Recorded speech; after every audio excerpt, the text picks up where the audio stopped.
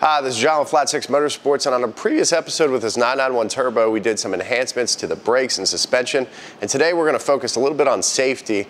This car is going to be seeing the track, so we're going to put a Cantrell bolt-in roll cage in, and we're also putting some Recaro Sportster GT seats. Now this is going to have a hybrid of street and track, so we want to have a comfortable seat in there that matches the interior, and the Recaro Sportster GT seats do a good job at that. Uh, but we're going to rig it up with some Schroth harnesses, uh, go through some impressions on that, and also just talk a little bit about key considerations to make when choosing a seat for your car. So let's get in the install and we'll come back with some more.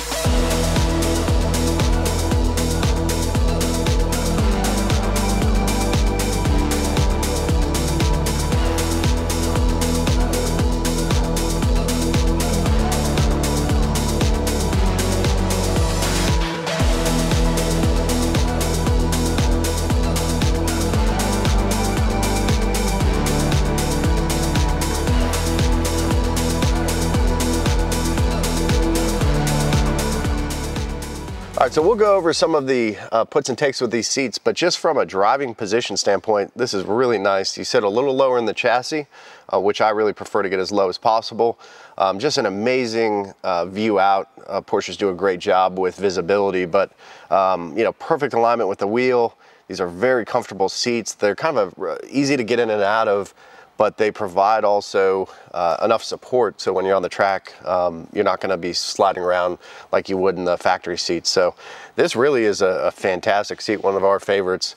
Uh, but let's get into this specific setup and just kind of show you how the harnesses work and the seat belts can work with this setup. All right, so we're just gonna demonstrate here on the passenger seat, but it's the same arrangement on the driver's seat. So these are on sliders, so they can slide forward and backwards, and they also recline, which is nice, um, obviously for a street seat.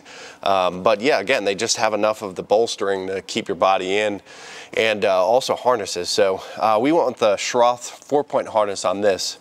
Um, mainly because that's all this seat is going to accommodate.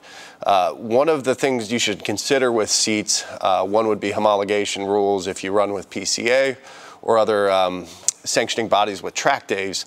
Uh, some may require a five or six point harness, um, and that's going to need a, a, submarine belt um, through the seat. Um, so one thing to consider, because this seat can only accept a four point harness or your traditional lap belt, um, we have to run a four point. Roll cage has the two attachments behind and then two on the side uh, which completes the four point harness here. Um, has the quick release, very good, gonna hold you in. Um, and then the really nice thing is you can tuck these back behind and you can still use the factory seatbelt. So if this is gonna be a car like for this client where he's using it a lot on the street, we'll use it at the track, you can leverage your factory seatbelt, uh, which is really nice. And the factory seatbelt works really well with these seats, very comfortable.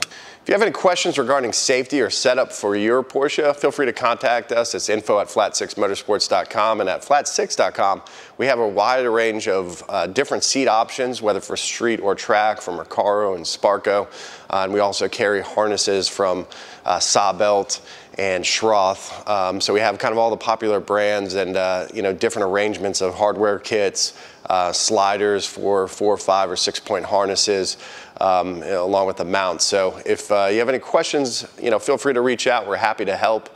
And uh, we'll see you in the next one because the next one we're going to add a lot of power now that we have all of the uh, suspension brakes and uh, safety here. Now we can turn up the juice. See you in the next one.